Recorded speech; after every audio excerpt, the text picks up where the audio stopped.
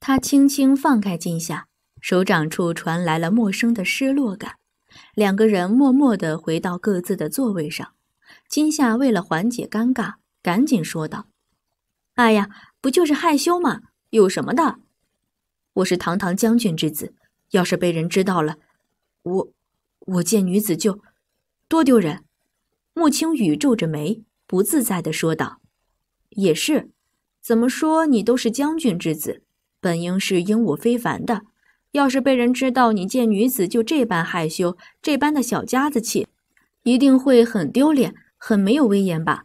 被人嘲笑是小事，丢了将军府的脸就不好了。”金夏拄着下巴分析道：“哼，知道就好。”穆青雨承认金夏分析的很对。自己丢脸是小事，家族的荣誉不能因为自己的毛病而被抹黑。你这个毛病是从什么时候开始的？难不成你们要跟瓦剌求得的药，就是治疗你这个病症的药？金夏好奇心一旦被激发，就一发不可收拾。他顺着自己的猜测问道：“我这个病是自小就有的，只要不与女子相处就无事，犯不着跟他们求什么药。你还真有想象力。”你就别瞎猜了，穆青雨无奈地看着金夏说道：“那你想不想治疗你这个病症？”金夏古灵精怪的看着穆青雨：“不要你管。”穆青雨根本就不信任袁金夏。我姨呢是当今世上的神医，她绝对可以治疗您这个病症。金夏想到了林姨，一定能有办法。真的，穆青雨虽然不太信任金夏，但听说是神医。难免有些跃跃欲试。当然了，京城的杏林院林大夫的医术可是赫赫有名的，不信你自己去问问。那是我姨亲姨。金夏指了指自己，强调道：“杏林院，穆青雨的确是知道这个地方。据说有位林大夫不仅貌美，医术更是了得。听说还有个爱吃醋的相公。是呀。”金夏点了点头，你确定他能治疗我的病？穆青雨有些动心地问道。不确定，不过如果我姨都束手无策的话，我想别人也就更没有办法了。你放心吧，我是绝对不会在外人面前泄露这件事。金夏拍着胸脯说道。你怎么会这么热心地帮我，还肯为我保守秘密？你是不是有什么条件？穆青雨不傻。金夏的热情，其中必有陷阱。那作为交换，你是否可以告诉我南巡王府的所求之物呢？金夏笑着说道。说来说去，你就是想知道我们王府的事情。哼，我是不会出卖王府的。我的病用不着你姨治疗。穆青雨生气地说道。二公子，你也别着急拒绝呀，你又不吃亏。你们南巡王府的秘密，我早晚会查出来。而你的病可不好说，你今年听说二十三了吧？你还未成亲吧？是否有中意的姑娘了？金夏晃着脑袋问道。穆青雨看了金夏一眼，别过头，红着脸说道：“没有。你看，你看，你这么害羞，即使有了心仪的姑娘，恐怕也不敢表达吧？那未来岂不是会错过很多姻缘机会？”金夏继续蛊惑道。我怎么知道你是不是故意诓骗我？要是我告诉了你，你姨也治不好我，怎么办？穆青雨反问道。被穆青雨这么一问，金夏思考了一下，说道：“那这样，你可以跟我去一趟杏林院，让我姨给你看看，到时候不就知道能不能治了吗？如果能治疗的话，你再告诉我，如何？”穆青雨思来想去，还是不妥。他不想用自己的病去换王府的秘密，最后还是决定放弃。我的病就不劳袁捕头操心了。不过你要是敢说出去，我一定不会放过你。有时间你还是认真调查吧。我们南巡王府没什么要跟瓦剌交换的物件。说完，穆青雨起身要离开。你们在瓦剌的书信中就写明了这些。如果你不如实相告，这就是皇上疑心的地方，也许你们的难言之隐就会成为被人诟病王府的契机。我也只是想帮忙而已。金夏见穆青雨要走，赶紧说道。穆青雨没有转过身，只是停顿了，便离开了。今夏见穆青雨离开了茶楼，慢慢坐了下来，一边吃着茶点，一边从头想着刚刚穆青雨的反应。他是在自己说出“彼岸花”的时候呛到水，情绪突变的。莫非南巡王府所求的真的是彼岸花？看来这是一条线索，需要继续追查下去。如果真是，那他们求的是花还是叶呢？是有人中毒了，还是有人将死呢？回去再想想吧。金夏揉了揉容量有限的脑袋，看了看外面的天。今天没什么事，去看看大人。再说陆毅这几天一直都在忙着舞弊案的事情，正打算跟岑福出去调查的陆毅，刚一出北镇福司，就看到穆希尔的马车停在门口。陆毅犹豫了一下，本不想过去。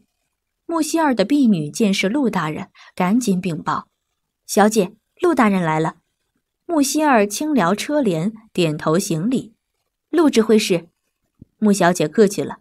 你这次来是……”陆毅向来不会难为这些官家小姐，尤其是像穆希尔这般有教养、有学识的女孩。大人，可否随我去一个地方？穆希尔说道。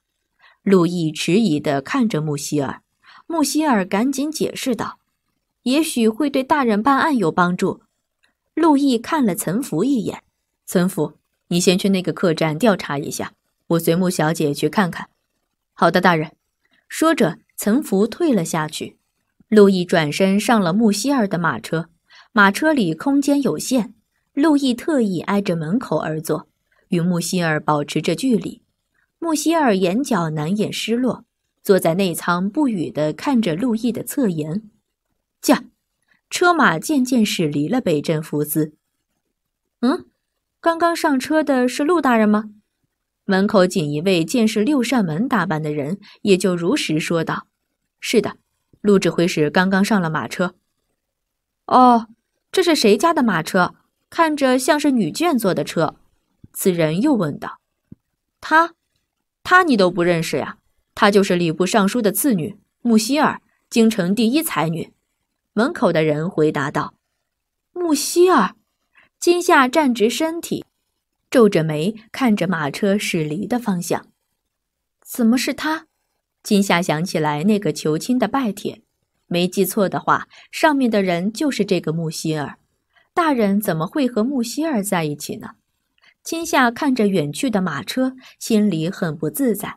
他相信陆毅，但是“京城第一才女”这几个字对于金夏来说，听着很是扎心。